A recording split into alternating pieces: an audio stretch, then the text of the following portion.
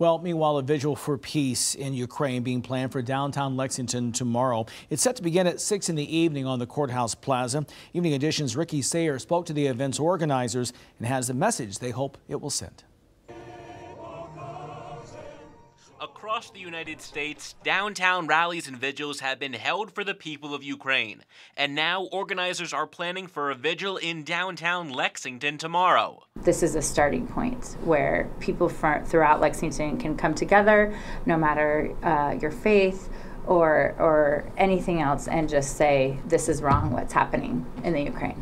The plan is to have it outside of the courthouse starting at 6. City Council member Jennifer Reynolds is helping to organize the event. I think if we could pack Courthouse Plaza like we do for our festivals every year, um, that that would be amazing. Already a prayer gathering was held outside Nicholasville's Ukrainian Pentecostal Church. That was Friday. I can believe that so many people, so many Americans will, will, will come together, to, to, together.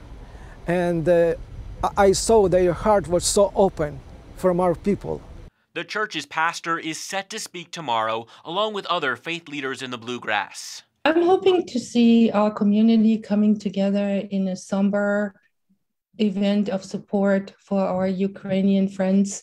Georgetown College professor Crystal Brody brought the idea for a vigil to Councilwoman Reynolds and says she is already seeing support. It's very comforting to me to see how how much our community cares about what's going on in Ukraine. So I urge everyone to come to our peace vigil tomorrow to just stand up and say, We are with them.